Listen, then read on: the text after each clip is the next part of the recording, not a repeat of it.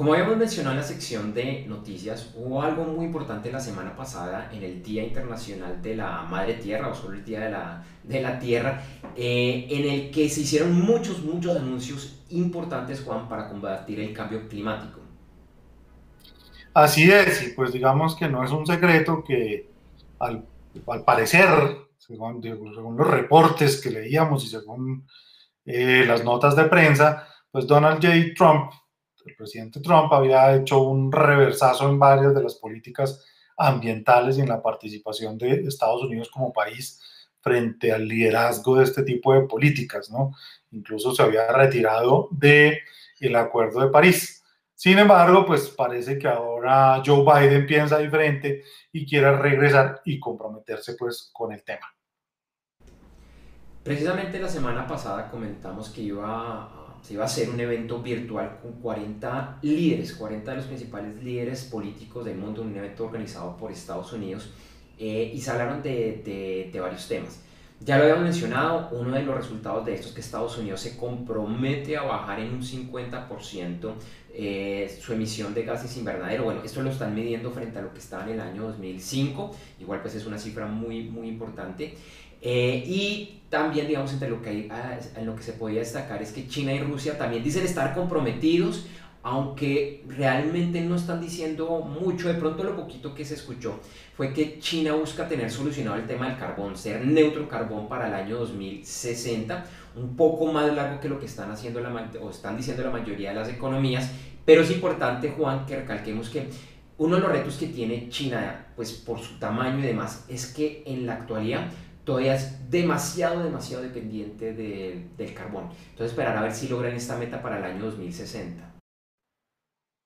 Así es, y pues digamos que por estos lados del continente, eh, además de Estados Unidos, pues Brasil también es altamente dependiente del carbono y ellos se han comprometido a alcanzar la neutralidad de carbono para 2050 y duplicar los fondos que destinan para hacer cumplir las normas ambientales.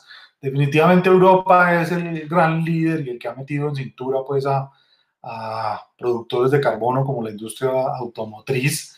Eh, pero bueno, pues ya se ve como China, Estados Unidos, Brasil, que son otros gigantes, pues van teniendo que entrar en cintura. Un anuncio muy interesante que se dio la semana pasada tiene que ver con el FMI, el Fondo Monetario Internacional, que está llamando a las principales 20 economías a ponerle un precio mínimo, un precio mínimo, que se pongan de acuerdo de cuánto cuesta eh, el carbón y piensan que con esto pues, se podría reducir hasta el 80% de las emisiones globales porque pues en estas 20 economías está centrado eh, el, problema. Y de alguna manera pues eh, similar, con una medida un poquito más pequeña, eh, está hablando la Organización para el Desarrollo y, perdón, la Organización para la Cooperación y el Desarrollo Económico, OCDE, que le está pidiendo a los países de América Latina empezar a crear impuestos verdes. No es que no existan, lo que pasa es que consideran que son muy bajos. Por ejemplo, eh, en la región, muchos de estos impuestos apenas es el 1,2% del Producto Interno Bruto pues, de los países analizados. Y ellos consideran que estas medidas son muy, muy eh, bajas. Entonces, pues Juan, también hay más medidas interesantes pues, de lo que está sucediendo eh, en nuestra región. Sí, así es. Incluso, pues aquí que estamos empezando a hablar en Colombia de una reforma tributaria, se están considerando este tipo de, de impuestos para encarecer el uso de contaminantes y hacer que las empresas y las personas pues busquen alternativas verdes y sostenibles y seguramente lo veremos en otros países. Un dato curioso publicado por la revista Nature es que en el 2020 el peso de los edificios y maquinarias creadas por la humanidad superó el peso de todos los árboles y animales en la Tierra, lo que es llamado técnicamente la biomasa.